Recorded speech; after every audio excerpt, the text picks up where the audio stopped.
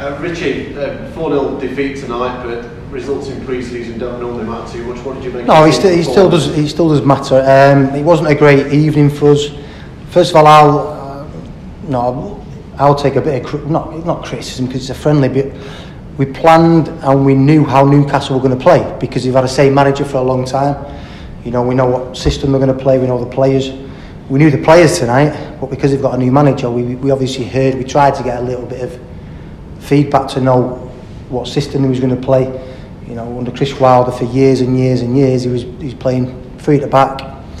The centre halves overlap, and you knew what you was going to get. Well, tonight with a new manager, obviously he's got a reputation of good football at Fulham. We knew they changed, we just didn't know what. So, therefore, we didn't really work on anything out of possession. We just tried to concentrate on us. I think that's shown our out of possession from from tonight from Newcastle was was a world away. Um, and it's probably a good it's probably good that we got it now. We looked at times like a patched up team. I think the kick-off didn't help us because it, it, it, it, kind of well it definitely didn't help us and then for probably seven or eight minutes we were a little bit probably the game was a little bit dead but they had the majority of the ball and I thought we started to come into the game and then obviously you give them a huge leg up and, and from that moment on then they were very comfortable in, in the game but it's a good lesson for our lads because that they're one level above now And that's the level that you need to get to. Not just in in football wise, but reactions, intensity, dedication to your work. You all look at them, they're all fit, the reactions are, are spot on. You know, I know we, we've got a patched up team, and we look like a patched up team at times, but you also seen some lads out there, the reactions weren't great, the work weight wasn't great. So, um, I mean, something that I've learnt a lot more tonight than I did at, at, against Newcastle. Sometimes these pre, I've said along, all along, sometimes pre-season kid you, whether you play too well or you play too badly. Um, so I've never, I'm never one of them that gets gets kidded by pre-season games. From your perspective, does it make it tough to judge the side right now with the amount of trialists and changes and everything else that's, that's you've got to deal with? It does, but I'm always trying to envisage what we'd be like if we was playing a, a team in our in our league, and if they're doing the right things. When we get the all the, the pieces of the puzzle together, can they still execute the things that we want them to do. I mean, Ben Close was a massive loss today because him and Matt Smith complement each other really well. Um, tonight, one thing I'm not happy about is Sonderberg done it, Chris Basham done it. It probably happened, probably double figures in the game where someone just running straight through my midfield. So um, it didn't happen against Newcastle. The hit us on the counter attack, but it didn't run straight through our midfield. So we need we need a bit of size and a bit of power in there. Hence, I, I wanted to get minutes. I wanted to play Tommy Rowe for 90 minutes, but that's why we decided to put him in midfield just to give us a bit of power, a bit of legs, a bit of know-how. Because I think in the first half we certainly lacked that. Is that a role that you're going to want from him? Obviously, a very versatile player is Tommy Rowe, but could you see him starting there if you don't necessarily get the... No, I mean, if we, if we have injuries, maybe, but I think he gives us so much from that full-back position that we don't really want to be changing that. Um, it's always about getting uh, the minutes balance between the players. So obviously we've got three good centre-backs that we'd be happy to pick two from any of them three, but it's about getting the right minutes. We, we, we, we've obviously give Tom 90 minutes. Today we need to do get more minutes into Cameron John. Um, but overall, sometimes you, you, you can get beat, but it's a feeling of "Mm, we like that, we like that. But there was a lot of feelings that I didn't like tonight. A lot. Rich Ben Close, what- what's his situation? He's got COVID, so He, um,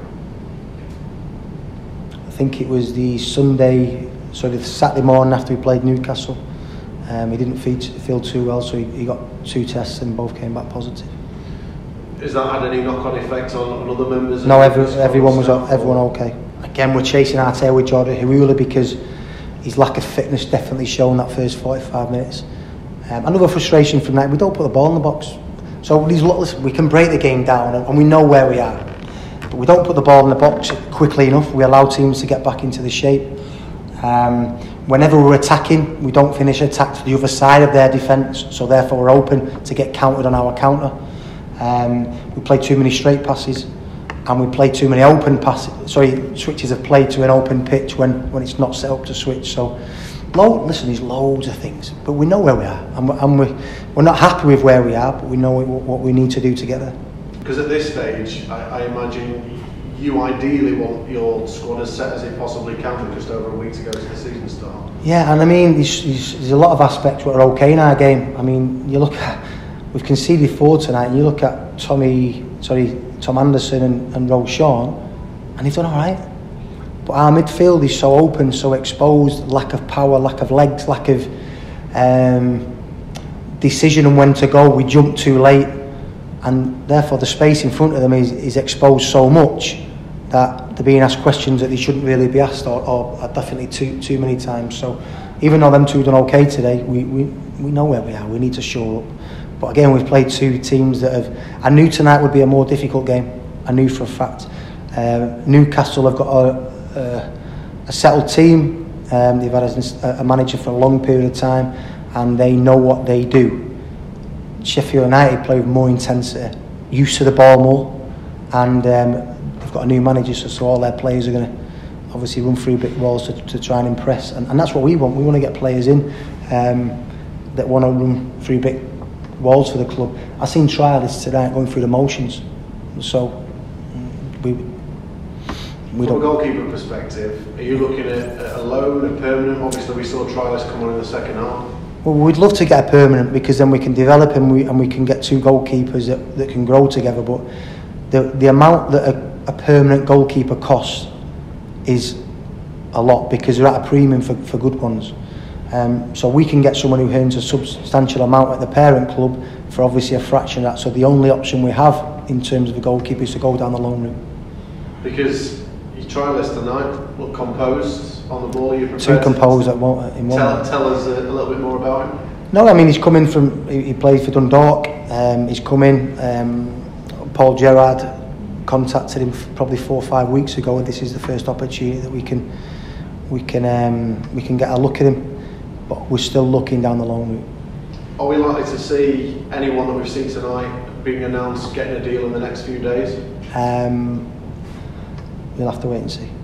Okay. Um, in terms of a signing today, Aidan Barlow clearly impressed in, in pre-season.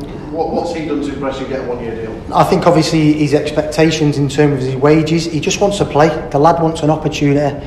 Um, he's obviously had a fantastic upbringing at Manchester United, and then he, he's drifted out the game a little bit. So we've just given him an opportunity. And the ball's in his court now. He, he isn't on substantial money, not at all. But there's things in it that can, you know, dangle a carrot for him. He, he done all right when he come on today, showing us little glimpses. But again, his fitness is nowhere near. But you've clearly seen enough in him with the aspects that you've seen in pre-season with the goal scoring etc. to think that there's a player there that somebody can work with. yeah, he can handle the ball. He needs he needs to be a little bit more physical at times. But we think that when the ball goes in around the box, he's got this lovely knack of being in the right position. And when you know, we've obviously not made just a decision off the, the goals that he scored in friendlies. We've watched him closely in training as well.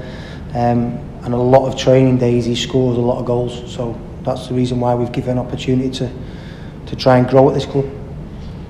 How much business do you think you'll be able to do before the season starts in, in 10 days' time? Are you I- looking to, to get the majority of your business done by then, or could it, I did think it go beyond? I did think that we would be further down the line, but that that ten days, two weeks of COVID has knocked us back. It's really delayed a couple of things, so um, we just have to be patient. We, we know where we are. We know what we, what we need to do. Um, but again, we've la- we're lacking some big players tonight. You know, Fejiri, Taylor, um, and Ben Close make a big difference to, to that team tonight. Thanks, Richie. No problem. Has anything changed in terms of your ability to offer a deal to anybody at this stage? Um, not currently, no. So there's no no funds, No. no funds. But a- any further interest in anybody? There's, there's a couple of things brewing, um, and to be fair, we- we- we're trying to just manoeuvre around a few situations because we know we are a little bit a little bit threadbare. Again, John Bostock wasn't here tonight. He's an experienced. We're, we're, we're lacking players. You know, John Taylor, Bostock. Okay, these are lads with hundreds of games that know the game, that know the level. Tonight we're just a little bit flimsy, um, both in and out possession, a little bit. sometimes men against boys. And to be fair to Sheffield United, they was on it. I watched the warm up. Sheffield United looked like it was on it from the warm up. And fair play to them. They're, they're obviously a fantastic outfit who've, who've been on the crest of a wave. Um, but we was at times given the runaround, and we accept that. And it was a good learning curve for us. But um, we we need to improve.